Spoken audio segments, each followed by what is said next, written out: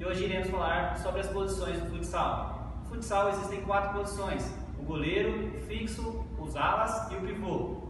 Como é um esporte com muita movimentação e dinâmica, todos os atletas devem conhecer todas as posições.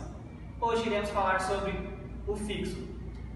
O fixo tem como característica a marcação, antecipação e a qualidade de passes. Iremos fazer dois exercícios para essa posição. Para isso vou chamar o professor Victor. O primeiro exercício vai ser o exercício de passe. Com o ala se movimentando, iremos demarcar aqui com os dois chapeuzinhos, o ala irá se movimentar e o fixo irá fazer os passes para o ala. Sempre lembrando de utilizar o pé esquerdo e o pé, pé direito.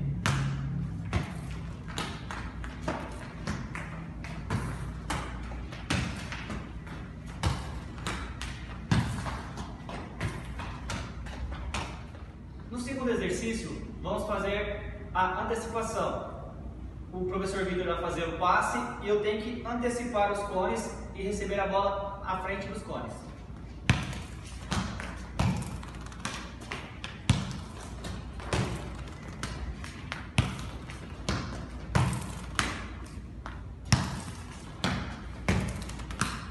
Lembrando sempre de fazer a antecipação com o pé direito e com o pé esquerdo. Bom pessoal, essa foi a aula sobre a posição de fixo. Espero que tenham gostado. Pratique em casa e até a próxima aula.